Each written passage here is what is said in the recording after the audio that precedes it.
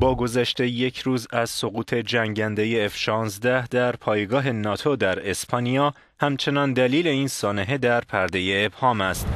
مقامات مسئول می‌گویند که برای یافتن جعبه سیاه این جنگنده ابتدا باید محل حادثه سمزدایی شود.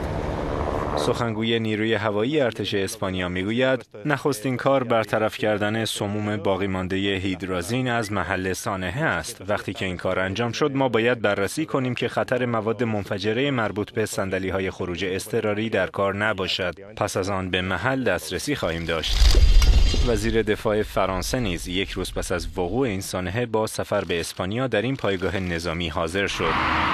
وزیر دفاع فرانسه در بخشی از سخنرانی خود در جمع نظامیان این مقر گفت من نیز به اینجا آمدم تا به کسانی که مجروح شدند و به زودی به فرانسه باز میگردند سلامی بگویم. من همچنین به اینجا آمدم تا به ارتشیانی که برای این عملیات سطح بالا اینجا بودند و آسیب دیدند درود بگویم.